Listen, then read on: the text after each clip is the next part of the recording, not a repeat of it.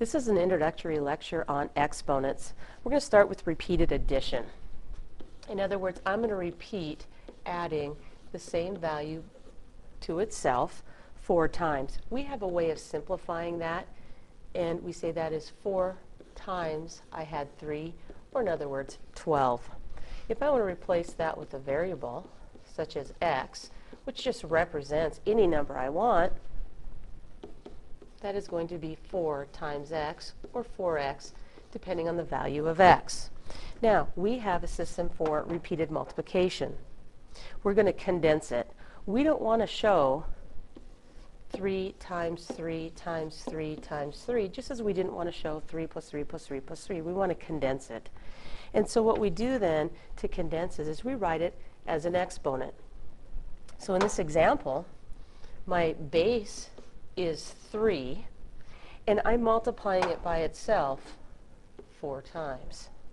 So the exponent is this little value called a superscript. And this big number down here is called the base. So let's write that out just a little bit clearer. If I have a raised to the b, a is what we call our base, and it is what is being multiplied. So what is being repeated?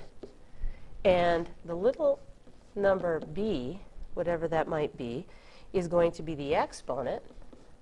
And that tells me how many times to repeat the multiplication. And we'll show some examples of that here in just a minute. But when we look at exponents, we're really going to have three essential types. We're going to have a positive, value in the exponent position. We might have a negative, or we might have zero. So we need to kind of look at what those might really represent. We're going to go back then and look at our place values. When I look at place values, we had 100. That was my hundreds, my tens, my ones, and then we would have that decimal. And on the other side of the decimal, we had our tenths, our hundredths, and our thousands. We're going to rewrite this in terms of exponents. This is 10 squared. This is 10 to the first. So I'm kind of envisioning here a pattern. This is 1 over 10 to the first, 1 over 10 to the second, and 1 over 10 to the third. So if we take a look at the pattern here, it looks like my exponent goes 2, 1. So I'm decreasing every time. So this is going to be 0. And then my exponent goes to the denominator. So what we want to do is look for a pattern in this. And we're going to have 10 to the second, 10 to the first, 10 to the 0, 10 to the negative 1, 10 to the negative 2, and 10 to the negative 3. And so a negative, therefore, looks to be a fraction. So when I have a positive exponent, that would be like my 10 squared. That means I have 10 times 10, or 100. Another example might be a fraction, 1 half cubed. What we're going to do is just expand that. It just simply represents 1 half times itself three times.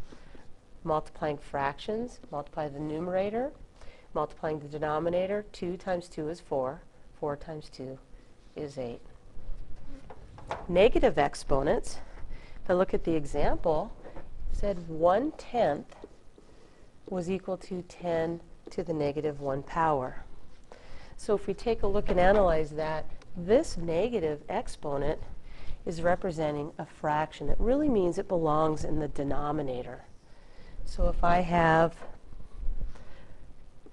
2 to the negative 1, that just means 2 belongs in that denominator.